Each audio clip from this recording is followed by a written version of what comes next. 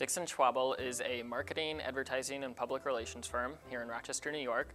Uh, we actually just opened a second location down in uh, Hilton Head, South Carolina. We've been in business for 24 years, and we are really a one-stop shop for anybody's advertising, PR, uh, web work, print advertising, uh, media placement. I mean, pretty much anything marketing or advertising, we can do it. We take our internship program very seriously. We try to help the students build and learn in a real world environment. We take them to client meetings, we have them set goals, we have them meet various people from different departments. Basically, working with all of our employees here, they can kind of build and learn on uh, not only what they've learned in the school or what they've learned in their classes at school, but you know, real world experience.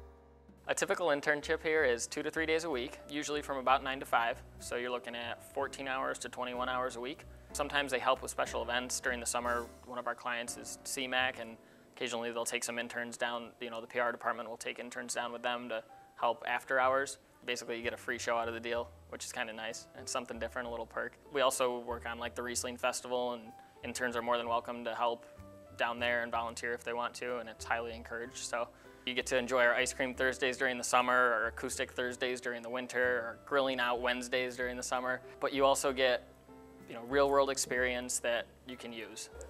I like that I actually get to go with them. Like I've gone on client meetings and stuff like that and I've actually gotten to see exactly what it is that they do as opposed to just putting together things for what they do. Right now I'm doing a spreadsheet for a client and a lot of the times I get to see the work that I've done in the actual meetings because I get to go to them and I really like that. It's really fun here. Like if you look around, obviously you can see that it's really fun here. Everyone's really friendly and helpful. If you have a question, no one's like mad at you for asking or anything like that. And I think that's really conducive to learning and meeting the clients and be able to interact with people. I really like to see everything that I've done and helped do come into action. We kind of let interns branch out and whatever they're interested in. Internships at Dixon Schwabl are very beneficial. People in the Rochester area and nationwide actually recognize us as a major powerhouse and a company that really strives to make their internship programs great. So if you get through our process, it's going to be known that you're good at what you're doing. People recommend this internship to everyone. It's the one to have apparently, so it's exciting.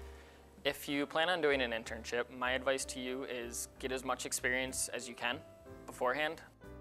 Extracurricular activities, whatever you can do to make your resume a little more beefier and stand out a little more than everybody else's. No matter what you do, watch for spelling on your applications or punctuation. If we see an error in that, we're not even looking at it. If you can't represent yourself great, how can you represent us great?